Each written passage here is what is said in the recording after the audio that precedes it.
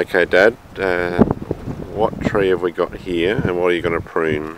This is an apricot tree, and I'm going to uh, uh, keep the fruit wood close to the main arm so that it doesn't get too far out, so that the tree then, with the weight of the fruit on the end, will come down here and break the limb. So this this old wood here, there's some fruiting wood there and there, so I'm going to just cut it there so that the apricots will form and stay near the main arm. This also is fruiting wood here. These little shoots are the fruiting wood for next year's fruit. So we leave them there and this this one here I'm going to cut down to here so that the, the buds that will come out of there will be little fruiting wood like this down here down there. So I'll leave that there. Now this is all fruiting wood here. Nice fruiting wood at the end there but it's getting near the end of its life so that's why we have prepared some new wood to take place of when this goes.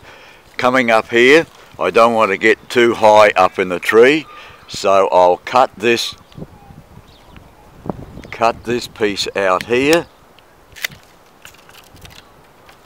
and this here is where the fruiting wood for next year will come. It won't be apricots this year because they're not multiple buds like that down there. So what I'm going to do is to just to cut that off there so that next year this this will be fruiting wood. It won't be this year. So This is as high as I want this tree to go, so I'm just going to cut that old little bit of wood off so that next year this will be fruiting wood. There's, there's the fruiting wood for this year. There's your apricot will form there, and this here will form for next year. So we go up the tree, and this tree is, this is being what they call spent wood. There's nothing going to be on there and it's getting up too high. And we don't want it to come out too far. So what I'm going to do this year I'm going to cut that that piece right out and use this piece as a leader. This is where the new shoots will come and I will leave it to go to there so you have an outside bud going there to, so it'll come out there and I don't want it to go any higher than my hand is because uh, we want to put a net over it and we've got plenty of fruit down here so why go any higher so that's it. this is here is fruiting wood coming out here and so I'm going to cut that off there because I don't want it to come out any further but I'll leave this here for fruiting wood for next year and there's your fruit there there. So that's as far as we want the fruiting wood to come out. Same over here, I'll cut that off there and use that for fruiting wood next year. We come around this side of the tree where where all this is fruiting wood here. Now this is this is what they call spent wood because it has got rid of all the fruit down there and it's only at the end and it's wasted growth.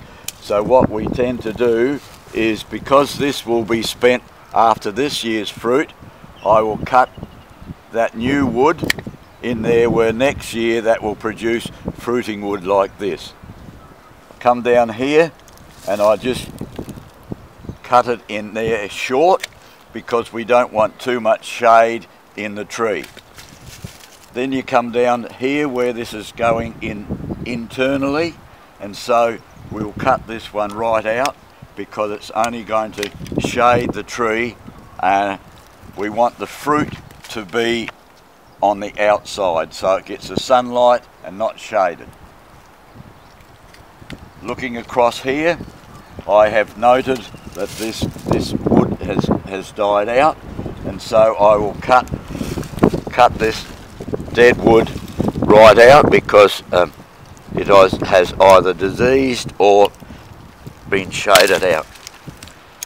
That is that is the dead wood, dead wood there. So we cut it right right out.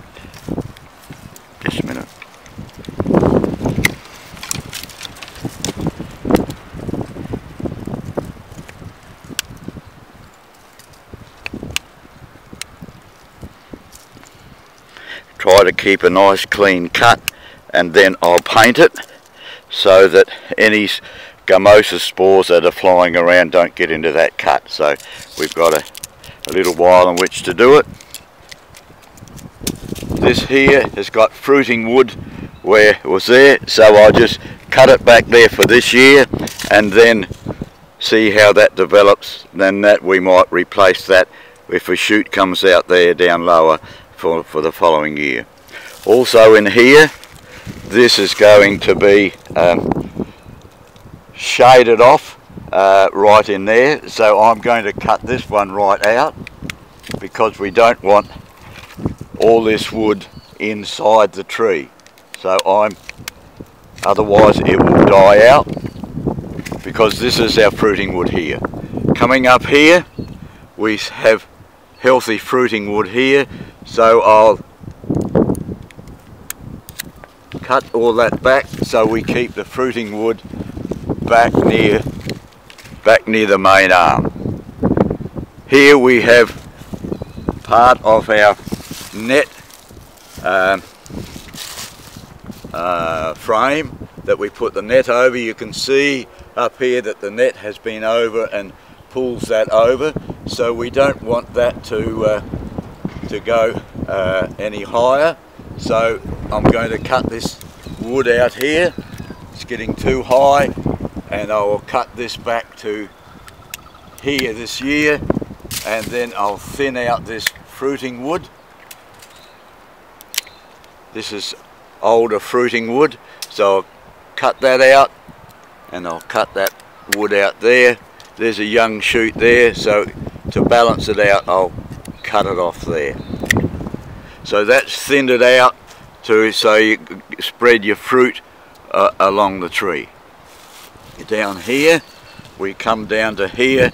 This is going nowhere and it's only causing a a cluster of leaves which is going to shade out the wood so I'm going to thin that out there and thin that out there. Just cut it back there. This here to finish this limb off is going internal so I'm going to cut this right out at the base and this little dead piece here cut it out and that's where all your fruit is coming down this main arm. So we come around here and thin that back. Now looking, also looking at this tree, I have found that this in here is competing with this one and this is shading that one out. So to open the tree out, I'm going to get a saw and cut that one out.